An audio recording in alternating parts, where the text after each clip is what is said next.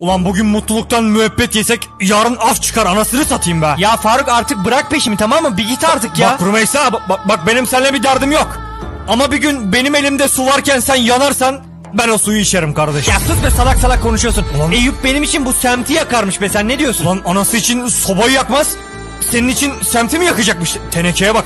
Tövbe estağfurullah tövbe. He atı alan Üsküdar'ı geçti Faruk artık bir rahat bırak ya. Atalan Üsküdar geçti de. Aha alan sıratı geçebilecek mi aslanım? Allah Allah. Uçacaksın o köprüden uçacaksın uçacaksın ha. Ya Faruk bizim alakamız bile olmadı ki Ha. sen ne, ne ah alması? Zaten bu devirde en çok Azrail'e güveneceksin. En azından niyeti belli ya. He sen çok doğrusun geçen zabıtaya yakalanmışsın ne yapıyordun yine? Yo öyle bir şey yok. Şşş, ne geziyorsun lan burada? Ne mi geziyorsun burada?